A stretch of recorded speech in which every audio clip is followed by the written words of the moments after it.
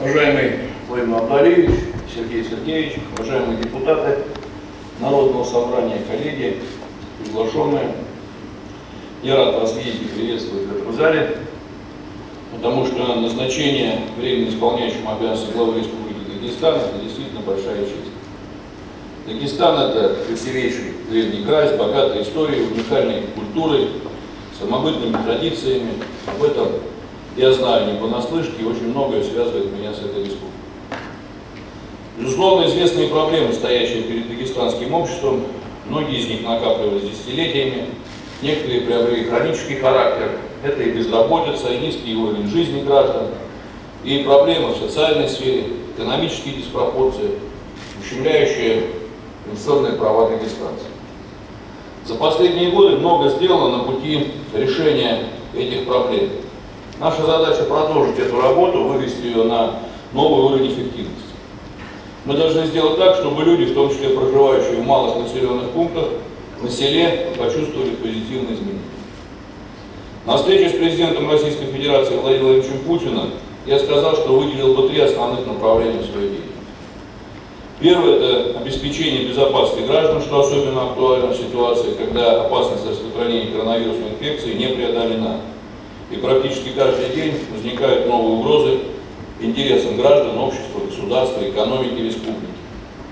Нужно сделать все, чтобы люди чувствовали уверенность в завтрашнем дне, свою защищенность от эпидемических вспышек, и в том числе от тех посягательств, которые эти вспышки могут Второе направление – это преодоление наболевших проблем социально-экономического характера, в том числе посредством улучшения делового климата, повышения инвестиционной привлекательности Дагестана, полноценных институционных преобразований, плоскости решения задач э, ускоренного экономического развития у нас огромное поле деятельности. Дагестану необходимо наверстывать упущенное, чтобы стать вровень с другими регионами страны, чтобы сделать республику успешной, благоустроенной, комфортной для жизни и для гостей. Ну и третье – это усиление взаимодействия власти и общества, формирование эффективной архитектуры органов власти, открытой для запросов общества, способных качеству удовлетворения, что потребует не только укрепления исполнительной дисциплины в органах власти, обновления кадрового состава, но и здоровой общественной активности, продолжения работы по декриминализации региона. Эту работу мы откладывать не будем. Уже завтра мы проведем рабочую встречу с членами правительства, с общественной палатой, на которой попробуем определить те реперные точки, которые в последующем будут способствовать выстраиванию нашей совместной работы. Дагестанцам свойственна жизненная энергия, доброта, чувство справедливости. Мне очень приятно, что об этом говорил Владимир Владимирович Путин на нашей рабочей встрече 5 октября. Это в значительной степени объясняет, почему Дагестан занимает первые позиции в округе по доле граждан, вовлеченных в добровольческую деятельность, граждан, которые занимаются благотворительностью. И проблема с коронавирусом еще раз показала, что равнодушных к Дагестану людей в стране не оказалось. Ярко это проявилось э, в период начала борьбы с пандемией, продолжает, э, э мы продолжаем это видеть и сегодня. Необходимо направить конструктивное русло эту социальную энергию, в первую очередь энергию молодежи. Я очень рассчитываю на эту категорию граждан Дагестана, которые зачастую остаются наедине со своими проблемами, наедине со своим будущим, наедине с вытекающими отсюда негативными последствиями.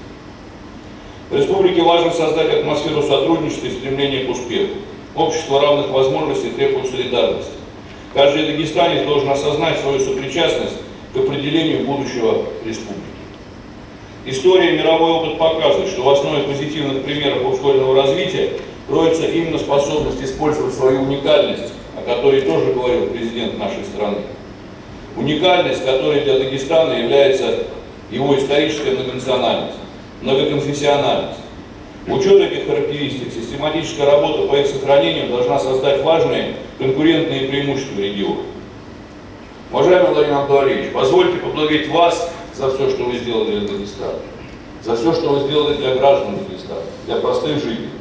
Благодарю также членов правительства, депутатов Народного собрания, муниципальных руководителей, которые оказывали реальную помощь Владимиру Абдуалевичу в решении сложнейших задач. Я надеюсь, что и дальше мы будем работать с вами так же конструктивно и целенаправленно. В трудных кризисных ситуациях вы многое сделали для того, чтобы и гражданский долг. Я рассчитываю, Владимир Анатольевич, как на вашу поддержку, так и на поддержку тех людей, которые вместе с вами эту сложнейшую задачу в период, особенно этого года, в период пандемии.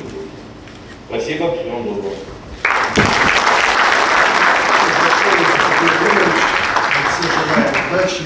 Успехов вам, конечно, всех в этом участии.